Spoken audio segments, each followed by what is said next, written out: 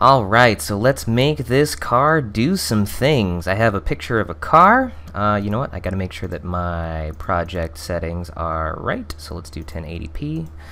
Doo -doo -doo. We're gonna shrink down this car, and because it's got like a whitish sort of shadow, why not just make it a white background? Hmm, yeah, there we go. I like that better. Alright, oh, what have I done? You get to see the flubs. Alright, there's that. We're good here. We've picked, we've applied, life is good. We have our car. So, um, I have this car element on my timeline here. Um, and how do I want to do this? You know, let's do a fade. So I'm going to go into my transitions, and we are going to add a fade. I'm going to add probably a fade on both sides, so I just drag it right to the middle here. But we want to make it really short. Um, I'm assuming that your intro is probably around two seconds long. So I'm going to shrink that down. One, two. Yoink. And you might learn some other fringe benefits along the way, which is kind of nice. So two frames in five seconds. If I hit the comma key, I can move it frame by frame. So comma turns it into four, three, two, one, exactly two seconds. So now I'm going to use that to snap it. Um, I'm going to shorten up this transition, click one side, control click the other, and I can just drag these to make them really short. 10 is a pretty good transition, I think. Let's see what that looks like. Yeah, just pops on nice and easy. So what I'm going to do is I'm going to add a custom animation to this. I can either go to animations, animations, and drag custom here, but uh, you probably ought to learn this now because I use custom animations almost exclusively. Zoom in a little bit. I'm going to hold shift and press A, and that creates a custom animation. So what this custom animation does is it has two keyframes. It has an ending frame and a beginning frame. Um, so basically what happens is, is you set your beginning frame, and then you set your end frame, and the animation takes care of all the stuff in between. So I'm gonna, but make sure you're on the right one. If I click the end one, Rudolph's red nose lights up. And if I click the beginning one, uh, that one doesn't light up, I wish it did. Uh, but this one is no longer um, lit up, so you know you're not at the end. Uh, so and also, too, it doesn't matter where this animation is right now, I'm just interested in setting the keyframes. So I like this car here. Cool. Actually, you know what? Uh, I'm going to take it a step back. All that information is important, but I'm going to take it one step back. I'm going to click this, and I know it's selected because it's yellow. Not selected is turquoise. So select, delete. Uh, and let's have the car start slightly off the stage, I think, is what I want. And then now I'm going to add my custom animation.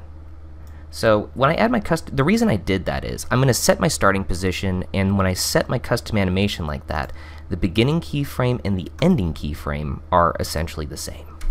Now what I'm going to do is now that I have my ending keyframe selected, I want this to just mm, seamlessly glide across the screen. And the way I'm going to do that is I'm only going to adjust the X value. Uh, I want the Y value to still st stay minus 361.1 or whatever it originally is at. So what I can do is I'm going to copy this value, so just copy it or control C. I'm going to drag my car across, mind you, uh, this is still selected, and you can see as I move the car, Rudolph's red nose is going to kind of pulsate and light up. It means that things are going on. So luckily this is already snapped, so the Y value is not changing, but if it did, I would probably go in here and just repaste that value so I don't forget it. And now what we can do is we can drag these keyframes to the very beginning and the very end of this clip so the fades and the animations happen at the same time. So let's see what that looks like. So when I hit play, we're going to fade in, drive, and fade out. I don't like... The, the thing about these types of animations is, uh, by default, they sort of ramp up and like ramp down. And that's cool for certain things. It's really like easy on the eyes to not just zoom right by, but there are some there are some instances where I do, and that's the case. And I'll, I'll drag this out a little bit to show you what I mean. You'll see that it slowly starts and then consistently goes and then slowly comes to a halt, like a car normally would. But in this case, I just want the car to zip across the screen and fade in. So I'm going to right-click the animation, go to Enable Easing, and auto is pretty much the same as exponential in and out. Like, I don't know why there's an auto because it pretty much always defaults to this. In this case, I just want to go linear. I just want it to be at a consistent speed from start to finish. So, gonna drag this all the way back to the beginning. Let's move this back farther than it needs to be.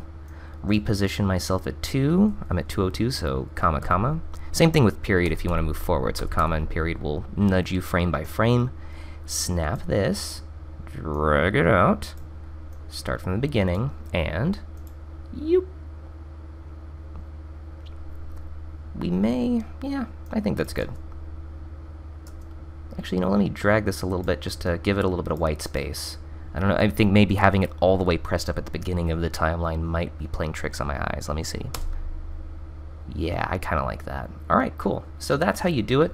And if you need to extend this by another second, you know, you can just simply drag this out to make it 3 seconds, 4 seconds, whatever you need. Uh, and then just do the same thing with the animations. Now you have a longer, you know, just a nice little cruising car. And that's it. That's how you do it.